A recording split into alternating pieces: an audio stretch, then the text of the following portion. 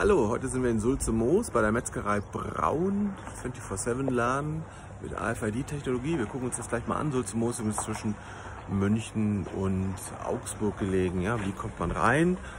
Rein, indem man die Karte hinhält, hoffe ich, und dann geht die Tür auf, genau. Und jetzt sind wir hier in einem ganz kleinen, knuffigen Store tatsächlich. Gucken uns gleich mal das Sortiment an.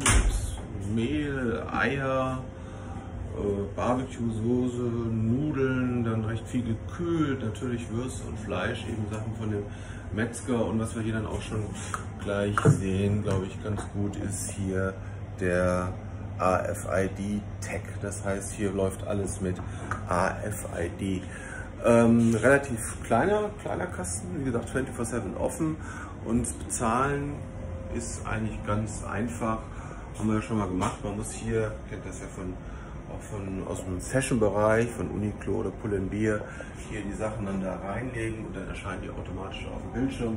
Machen wir jetzt ausnahmsweise nicht äh, und kann dann hier mit EC-Karte zahlen. Eigentlich ganz, ganz einfach und dann eben die typischen Metzgerprodukte.